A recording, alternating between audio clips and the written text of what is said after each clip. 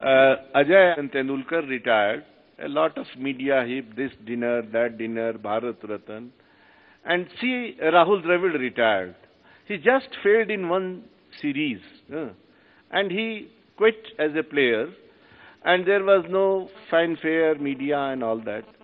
So my question is, whether it is appropriate for Rahul Dravid or the country to not take notice of retirement uh, between Rahul Dravid and Tendulkar, who is number one and number three in the world highest. I think, sir, by asking that question, you've answered that question. As a sportsman, I can, uh, I mean, I'll explain how I see it. You've asked that question. Nobody asked you. You are not Rahul Dravid's relation, are you? Are you, sir?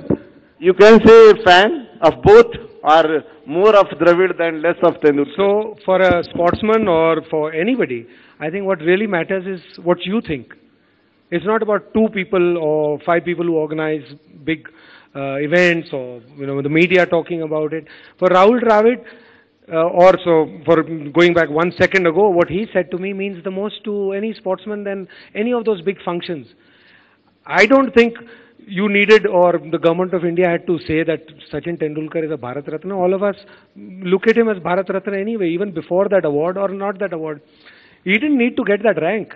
I mean, he's, he's been honored and it's a great honor by, uh, you know, your state, that is country. But I, I don't know, I'm not speaking on behalf of Tendulkar, but as a, just a person who's been a sportsman, I don't think you play for any awards or rank. You carry on playing the way you do, and this happens to be in a journey that you live. There will be a lot of good things that come and bad things that come, and a lot, lots got to do with fate and timing as well. If Rahul Dravid had stayed on for a couple of series, and probably if they'd resi- uh, retired together, he would have had the same day as Tendulkar had.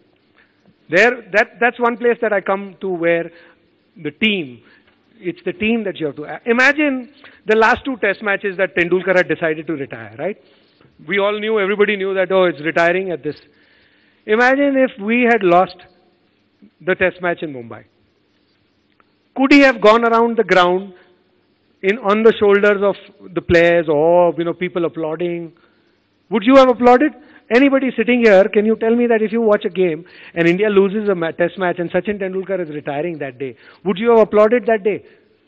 Some of you would. I mean, there are people who can stay above emotions, but the little life that I've lived, I have 99% people live with emotions. There are very few people who can live, you know, above that. So it wouldn't have happened. So it is, it's the team that won that day and what he's done has all got, it's all got together and it happens. And just by you remembering Rahul Dravid, I think Rahul Dravid is loved and cherished or probably respected.